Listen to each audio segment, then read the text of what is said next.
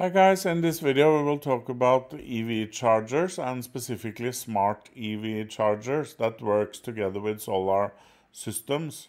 Um, because this is a great development that's happening uh, right now is that chargers for EVs are being integrated into solar systems so that uh, we can charge our EVs um, in different modes. And one mode is especially interesting and that is to charge it only from solar.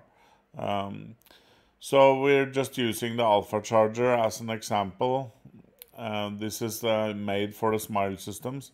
Um, so, for example, can be integrated in the T10 solar solar system. Um, this one will be available in the in autumn, so uh, I will definitely have this available for installation later later this year. Uh, but first, let's uh, talk a little bit uh, generally about chargers and EV charging. So we have three types. Uh, the portable, the um, sort of only looks like a cable that you attach to a socket at the house. Uh, this is the weakest kind of charging, only can charge a few thousand watts. And if you have a big battery in the EV, it's going to take very, very long time to fill it up. But for small uh, EV cars, it's certainly doable and very nice. Let's say if you go go on a trip and you need to be able to charge from a socket, uh, this is obviously a very good and portable way of uh, charging an EV car.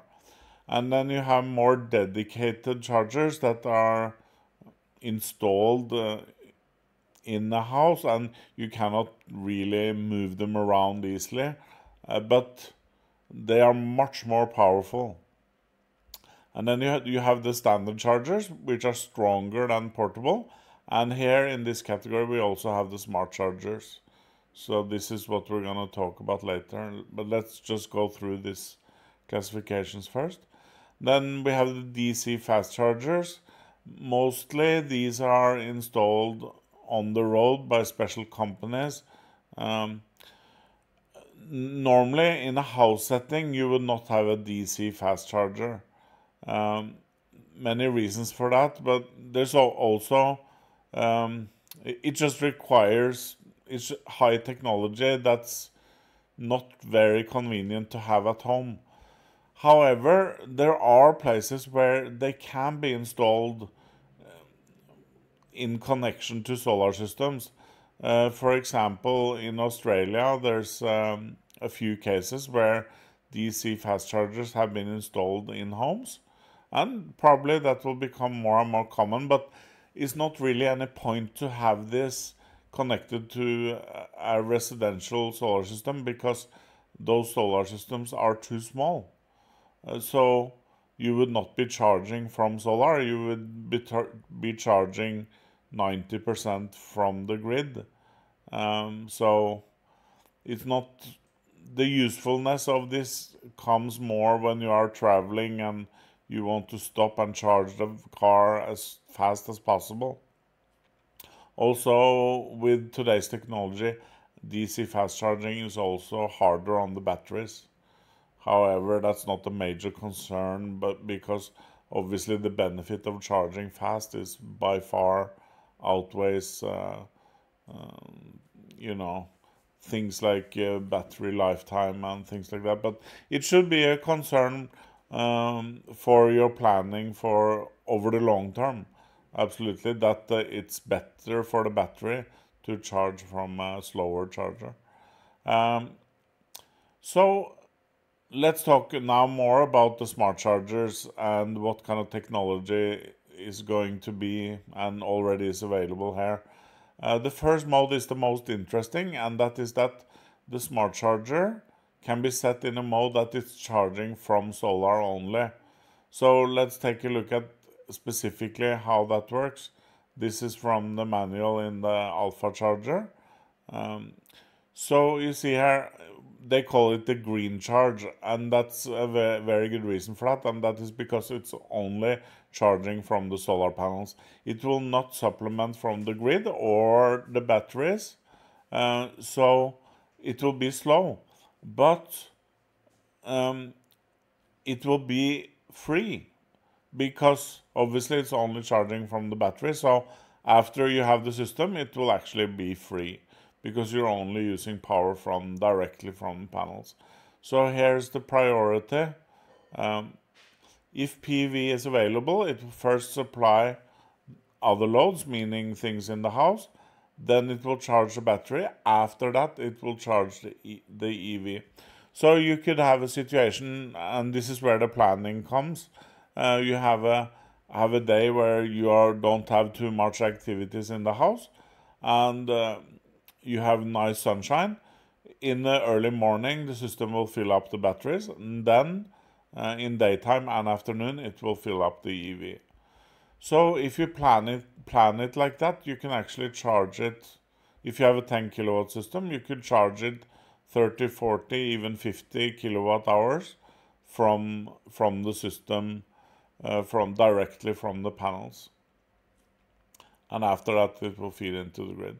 So this is what I am gonna try to do when I uh, get my EV. I don't have it yet, but this is obviously the best way to charge EVs.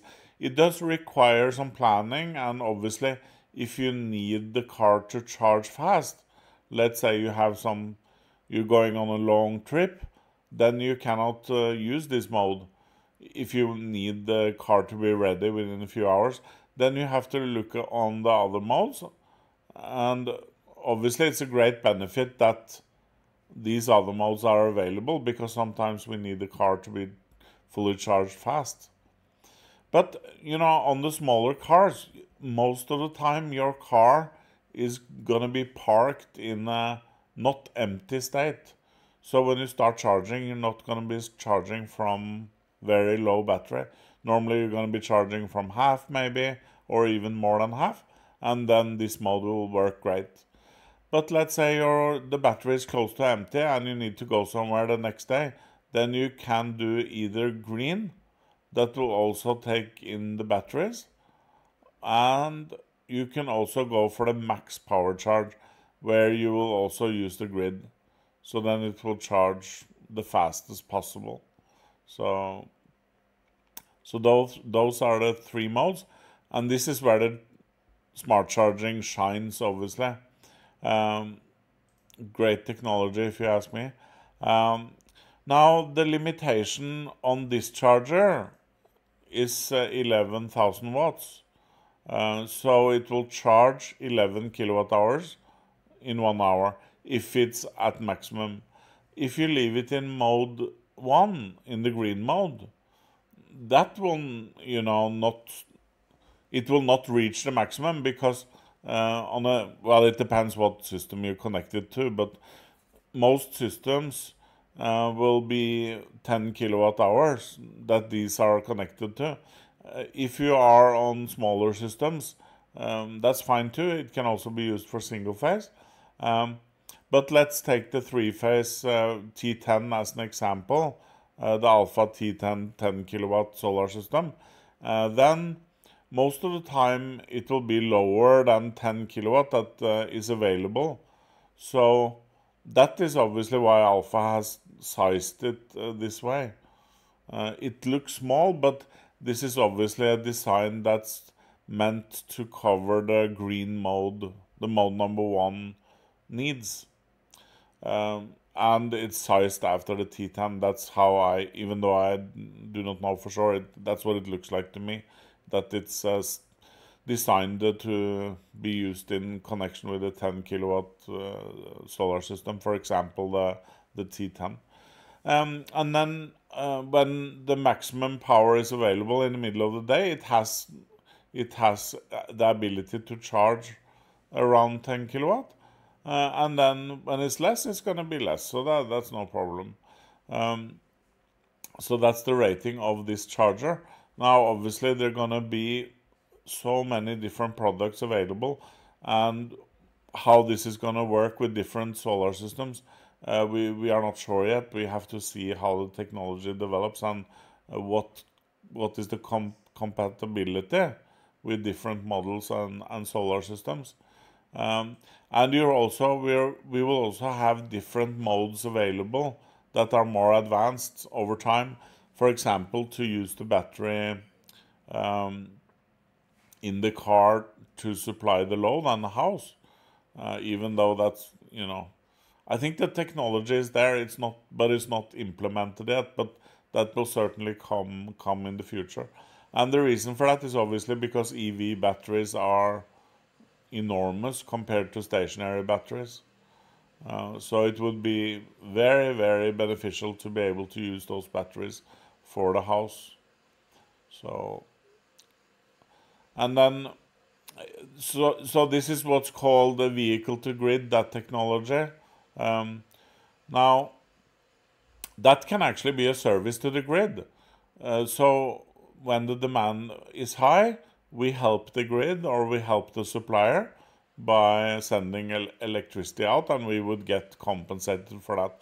Now, for something like that to happen in Thailand, I think that's a very long time into the future.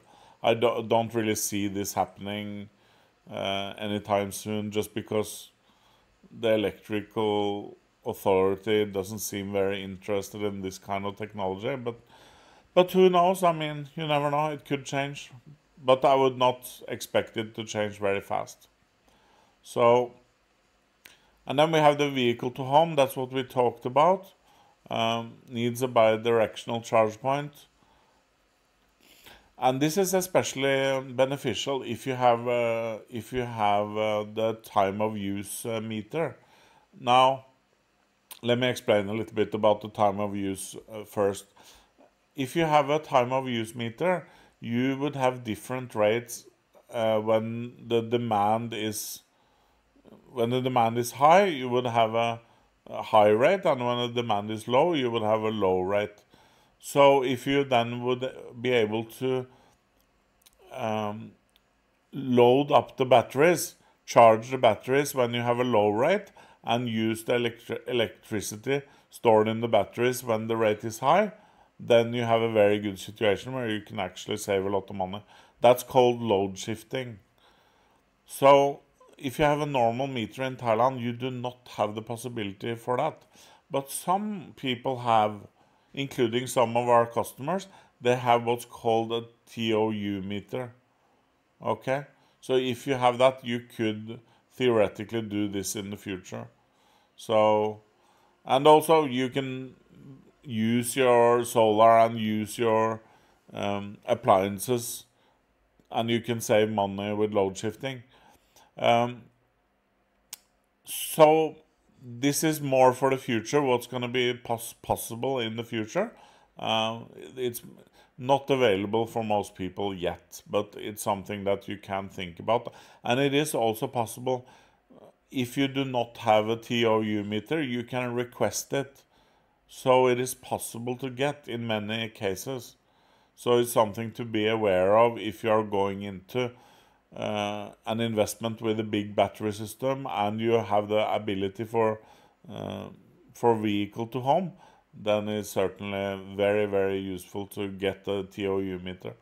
Now, some of our customers have TOU meters, but they might not be aware of it. So if you think that you might have it, actually the bill from PEA, I'm not sure about the MEA, but at least from the PEA, the bill looks completely different because obviously you would have the um, different rates specified on the bill, the different timings. So you would have high peak and holiday, you know, different different um, rates. So that's specified on the bill. So if you have that, that means you have a TOU meter. That's logical. So you can check that. If you're unsure, just send me a message and I will uh, I think uh, we can find out for you, no problem at all. Um, vehicle to load, that this is more for the portable, uh, uh, let's say you go on a camping trip and you want to charge an appliance directly from the car. Uh, that's what you would call vehicle to load. It's not so relevant, but it's a nice concept to know about. Um, vehicle to home is different in that it just supplies the home all the appliances in the home. So that's the difference between these things. Vehicle to load would be specific appliance while vehicle to, to home would be uh, all the appliances in the house. Vehicle to grid is obviously what we, we talked about, is when you support the grid, you're basically exporting from the battery uh, in the car to the grid. Not very likely to be used in Thailand, as I said. Okay, so that was a little bit uh, small introduction, and then we can get uh, more information about this at, as we get more experience with these kinds of smart charging. Uh, but I think it's very exciting and very, very cool technology. And basically, the, the scenario that's most interesting uh, to people and to me, uh, as an example, is to have a, let's say I have an EV car with a 100 kilowatt hour battery with a 10 kilowatt hour solar system, I would be able to charge that and the load in my house over just a few days from from a low battery to a full battery. And I will be able to drive very long distances completely free. So that it's that situation that's uh, very attractive and very, very environmentally friendly, of course. So it's both financially very nice situation and and environmentally friendly. So it's a good, it's a perfect combo for uh, for the future. Okay, guys, we'll have more about smart charging later.